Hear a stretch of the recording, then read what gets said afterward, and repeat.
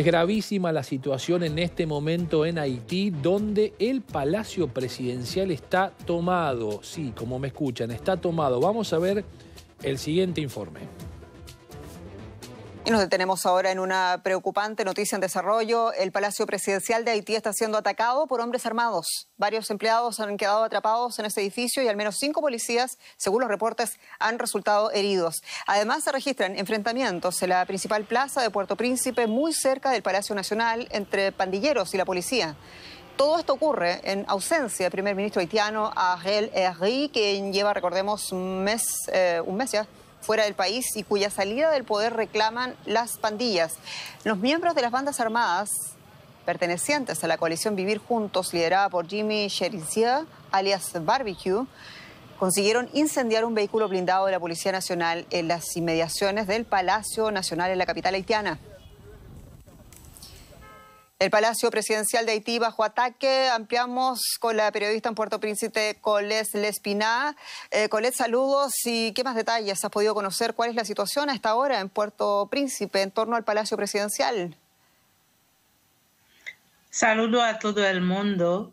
Sí, durante todo el día, desde esta mañana, alrededor del Palacio Nacional y en otras calles también de Puerto Príncipe, hubo muchos tiros y las bandas coordinadas por Jimmy Cherizier Barbecue, eh, cuyo eh, es, portavoz de esa coordinación de bandas que se llama Vivir Juntos, intentaron de eh, penetrar, entrar en el Palacio Nacional.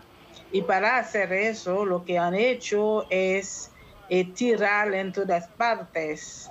Todavía no tenemos un balance de, de lo ocurre, si hay muertos, eh, pero sí se sabe que eh, quemaron a, a una, un, vehículo de la Policía Nacional blindado.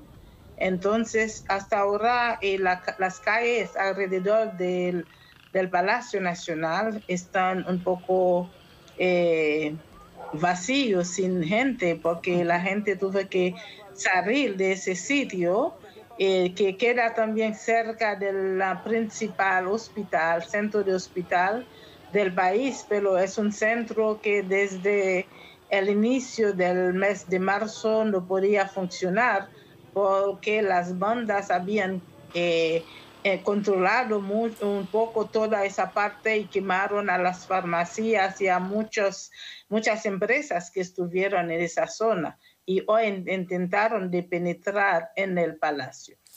Colette, eh, solamente considerar que tenemos eh, otras imágenes, porque las imágenes que están llegando por agencia realmente hablan de una extrema violencia.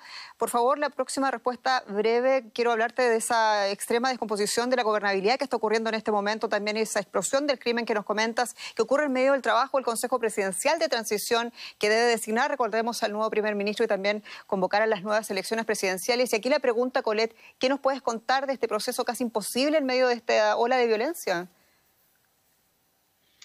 El proceso está en mucha dificultad. No solamente eh, está la violencia, sino también hay otros eh, grupos, otros sectores que no quieren a ese consejo, que preferían un juez de la Corte Suprema. Y entonces todavía no hay un consenso global muy fuerte alrededor del consejo. Todavía sus nombres no fueron publicados en el periódico oficial para formalizar todo eso. Colette Lespinaz, muchas gracias por tu crónica en Puerto Príncipe. Fue un placer.